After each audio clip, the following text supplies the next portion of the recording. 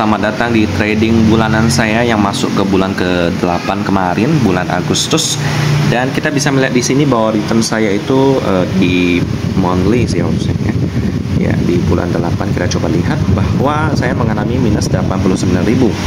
Bukannya hijau uh, meneruskan kenaikannya selama tiga hari, eh tiga bulan maksud saya.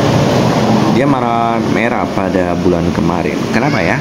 Nah ini kayaknya saya tahu alasannya deh. Untuk mengetahui alasannya kita bisa lihat di sini laporan keuangan daripada OBMD di kuartal kedua yang sudah keluar. Seperti yang kita lihat, mereka mengalami penurunan laba di kuartal kedua. Bukan berarti buruk ya, setidaknya mereka tidak mengalami kerugian. Tapi tidak sesuai harapan saya, hmm, labanya ini masih terlalu kecil ya. Jadi apakah saya akan menjual OBMD ini pada bulan September nanti? Itu kayaknya sih kalau belum ada saham yang menarik sih saya belum bisa jual ya.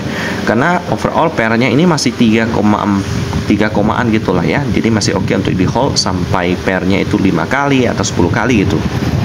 Jadi untuk sekarang OBMD saya masih akan hold. Nggak tahu nanti pas buka trading di tanggal 2 September itu dia bakal kayak gimana ya. Nanti kita akan lihat di rekap bulanan saya. Jadi kita untuk hari ini teman-teman belum ada saham yang menarik untuk sekarang. Jadi hold dulu OBMD.